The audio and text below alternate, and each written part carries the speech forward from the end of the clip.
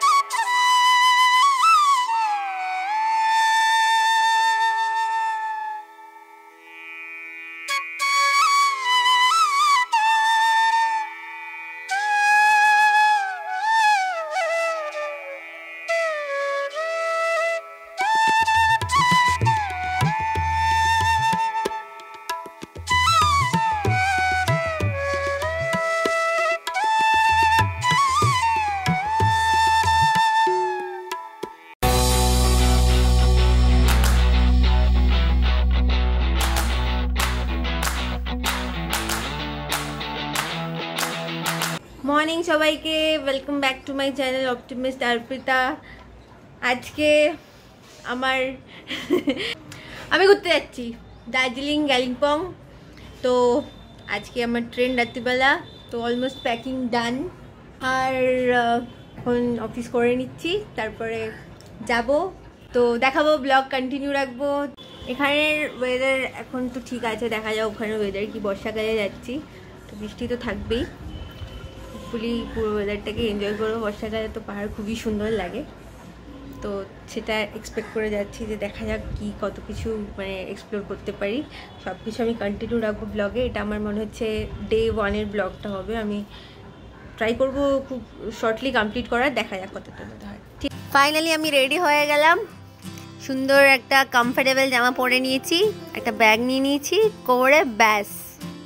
এই হচ্ছে সমস্যা। যত রকমের সব কিছু জামা কাপড় নিয়ে ফেলেছি, কিন্তু এই যে টানতে হচ্ছে অসুবিধা বাট ইটস ওকে সব কিছুর আগে স্টাইল শিয়ালদা থেকে ট্রেন খুলে গেল, ঠিক দশ, দশটা পাঁচে। দার্জিলিং মেল কখনো লেট করে না, ঠিক আছে তো? দশ, একদম দশটা পাঁচে ছেড়ে দিয়েছে। এবার আমি যাচ্ছি। রাত্রির বাজে দুটো, ঘুম তো আসছে না, এইসব করে বেড়াচ্ছি। দেখতে দেখতে ভোর হয়ে গেল, সকালটা মানে ভোর হতে দেখাটা খুব কমই হয় জীবনে আমার। তো এটাই এনজয় করছি এখন। দেখছি কীভাবে সকাল হলো।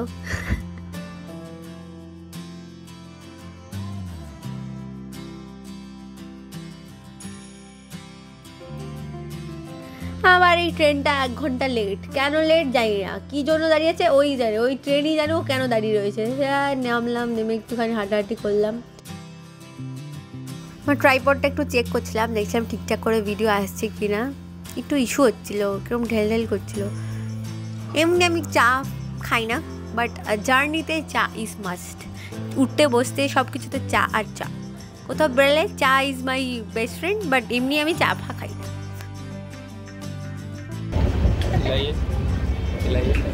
এ তো গাড়ির শেখ এমন শেখটা হাতের সে শেখটা আছে না ওই শেখটা হবে না। ফাইনালি পৌঁছে গেছি নিউ জলপাইগুড়ি। এত ভিড় এত ভিড়, ভগবান মানে অফ সিজনেও লোকজন সব ঘুরতে বেরিয়েছে মানে কি বলব?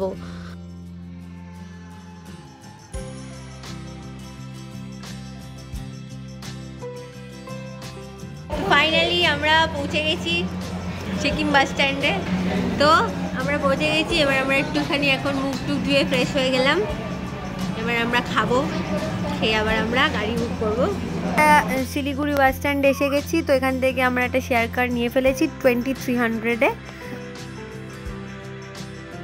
ওই দেখো ফাইনালি পাহাড় দেখতে পেয়ে গেছি। উফ সাচ আ রিলিফ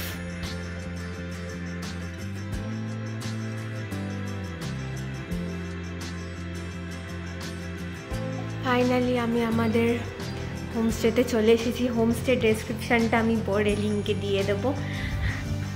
তো এটা হচ্ছে আমাদের ব্যালকনি কমন ব্যালকনি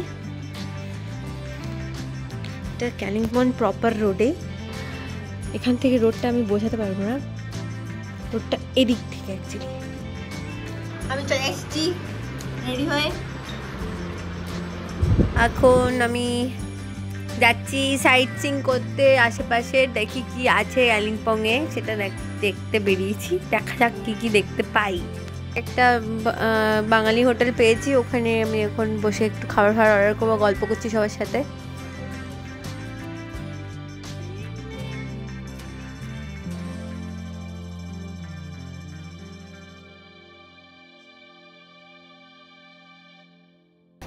হয়ে গেছে, গাড়ি বুক করা কমপ্লিট এবার কালকে সকালের বেশ আমি খুব টায়ার্ড আর এখানে সেরকম কিছু নেই কোথাও যাওয়ার মতো। তো আমি তো আমি রুমে যাচ্ছি। দেখা হচ্ছে কালকে। ওকে বাই বাই বাচ্চাগুলো খেলাধুলা করছে। তাই দাঁড়িয়ে দাঁড়িয়ে দেখছি। তো আমরা এখন চা আছি কালিম্পংয়ে বসে বসে কালিম্পংয়ের নতুন নতুন দার্জিলিং চা। জনা আমরা আমি একটু সত্য একটা নিয়ে দিতে চাই। যারা কালিম্পং প্রথমবার আসবে এসো না না না এসো। আমাদের মতন এসো মানে প্রথমে কালিম্পং এর ট্যুরটা রাখো তারপরে দার্জিলিং। বিকজ কালিম্পংটাই এসে একদিন রেস্ট নিলাম একটু পাহাড় পাহাড় দেখলাম।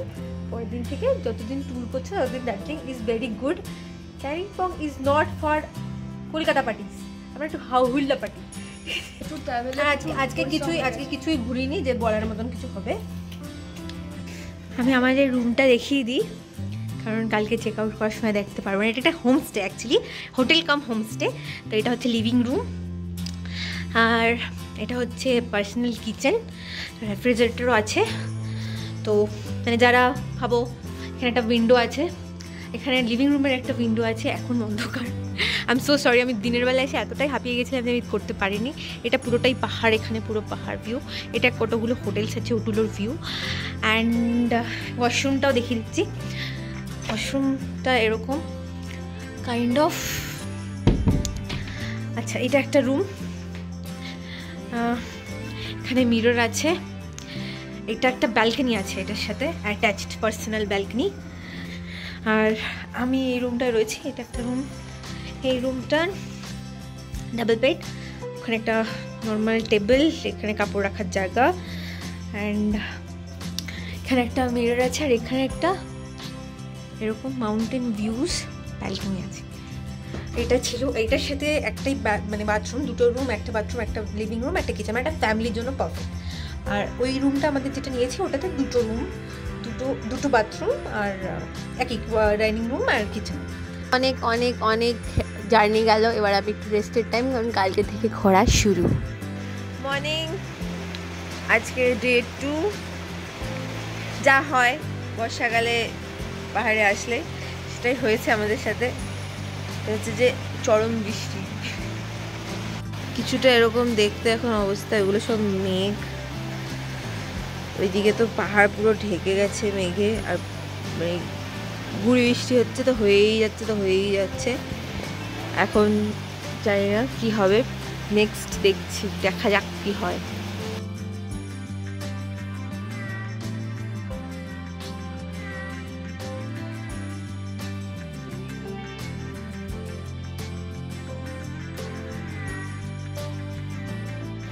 আমি রেডি হয়ে গেছি। চুলটা শুকাক, এবার একটুখানি কাজল ফাজল করব। আজকে পুরো রেনি ডে তো আমি স্লিপারেই যাব। আর ব্ল্যাকই পরবো ভাবছি। একটা হোয়াইট টি শার্ট ছিল, ওটা পরে ভেবেছিলাম বাট নট ফর টুডে দেখা যাক কী করতে পারি। বর্ষাকালে এসছি তো রেনি ডেটা তো সহ্য করতে হবে। এখন একটু চা খেয়ে আসি গরম গরম। আমরা এবার বেরাচ্ছি। দেখা হবে আবার দার্জিলিংয়ে যেতে যেতে আমরা কতগুলো সাইট সিং করব। বৃষ্টি তো পড়ছে। বাট আমরা হার মানবো না। আমরা বেরিয়ে পড়েছি মর্গেন হাউসের জন্য। মর্গান হাউসে যাব এখন। এই যেখানে আমি বক বক করছি থেকে কিচ্ছু শোনা যাচ্ছে না, কারণ আমার মাইকটা বন্ধ। লল। এল ও এল।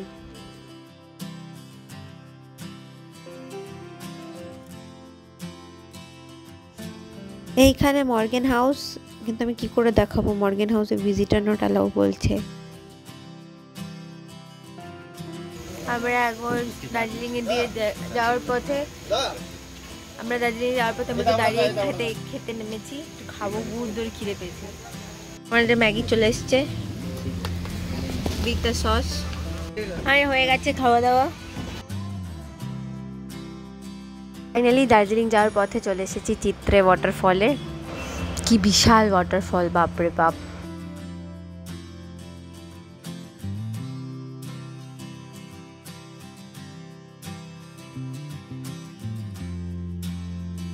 কিন্তু বর্ষাকাল যেহেতু একটু রিস্কি আছে হ্যাঁ এই পাথরগুলো একটু পেছলাচ্ছে কারণ ভীষণ বর্ষাকালে না জলের প্রভাবটা একটু বেশি থাকে মানে ফ্লোটা তো একটু রিস্কি তো আছে বাট ইটস ওকে দেখব যখন একটু রিস্ক নিতেই পারি।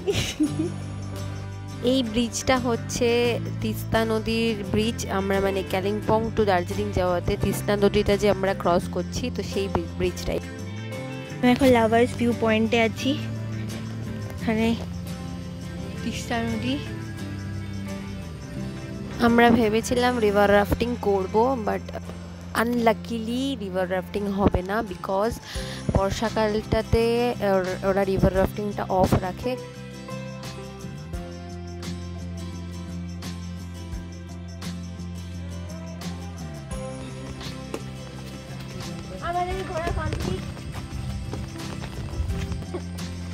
আমার লজ্জা লাগে বলতে। হ্যাঁ তো লাভার্স পয়েন্টে আমাদের ঘোরা কমপ্লিট খুব সুন্দর ভিউ ছিল। তিস্তা নদী যাচ্ছে সোজাসুজি আসতে ছোটো ছোটো ছোটো ছোটো। আমাকে বলতে দে। ছোট ছোট গাড়িগুলো দেখতেছিস কি সেক্সি লাগছে। মানে আর পাহাড়গুলো তো আরও বাদল পুরো ভরে ঘিরে রয়েছে। সুপার বর্ষাকাল যাদের ফেভারিট প্লিজ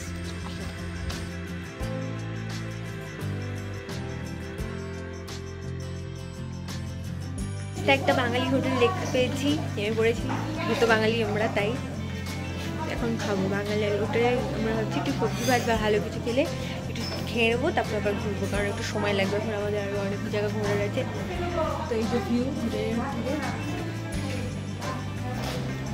খাবারটা খেতে খুবই ভালো, খুবই টেস্টি বাট খুব দাম। মানে একটা সবজি ভাত আমাদের কলকাতায় যা দাম, তার তিন ডবল দাম পাহাড়ি এলাকায়। হ্যাঁ কত নিচ থেকে ক্যারি করে উপরে নিয়ে যায়, ওরা ট্রান্সপোর্টেশনের ইস্যুস তো আছেই। আমাদের খাওয়া দাওয়া কমপ্লিট এবার আমরা যাব আবার গাড়িতে এটা Lamahatta pine forest ticket counter আছে টিকিট কাটবো তারপর আমরা যাব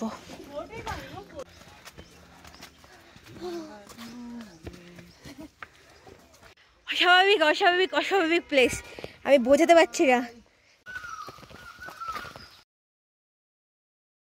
जा रहे हैं कहाँ जा रहे हैं कहाँ जा रहे हैं लामाहाटा लामाहाटा में है और पाउंड में जा और पाउंड में जा रहे हैं এই দেখ এই দেখ এদিক দেখ ওয়াও পেয়ে গেলে পন্ড আর পাচ্ছি না পন্ড আর আসছে না উঠেই যাচ্ছি আমি চুলটা বেঁধে নিয়েছি আমি কথা বলতে পারছি না আর নো কিরম আসছে আর বিলিভেবল এখানে হয়তো এখানে অনেক হয়তো অনেকে উইন্টার এসেছে।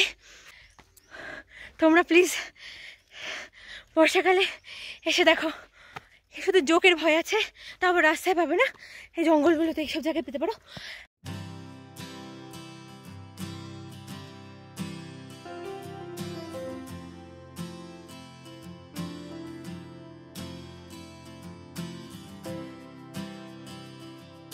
দম বেরিয়ে গেছে, ওপরে উঠতে এতটাই মানে দেখে মনে হবে খুবই মানে এক্সট্রা হাঁপাচ্ছি বাট না, খুবই খুবই খুবই মানে উঁচুতে উঠতে হয়েছে। তা ফাইনালি পয়েন্ট আমরা পেয়ে গেছি মানে অস্বাভাবিক সৌন্দর্য, এত আওয়াজ মানে গাছের জল পড়ার আওয়াজ, ছোট ছোট বৃষ্টির ফোঁটা পাখ- পাখিদের আওয়াজ মানে এতটাই, কী বলব, ভালো লাগছে, মনে হচ্ছে যেন wow this is nature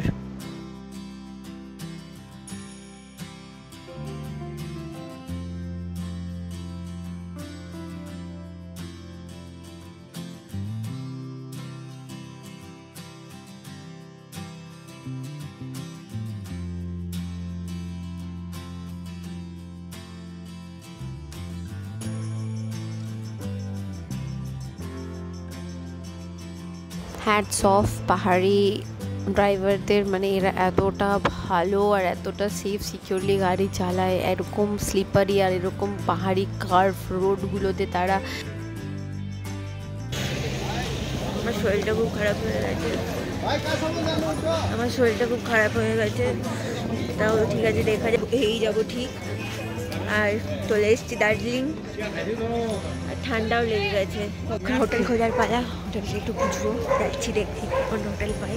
সেই সময় উফ খুব হেট্টিক হয়েছে হোটেল খুঁজতে। তো আমরা অনেক অনেক ঘোরার পরে ফাইনালি একটা রুম একটা হোটেল পেয়েছি।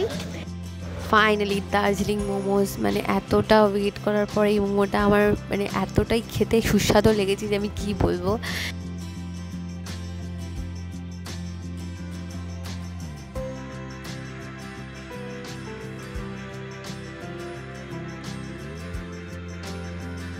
ফেমাস গ্যালারিজের সামনে সবাই ফটো তুলছে। আমিও তাদের মধ্যে একজন অফকোর্স তো যাই হোক, আজকে তো সেই মজা করেছি, সেই নতুন নতুন জিনিস দেখেছি।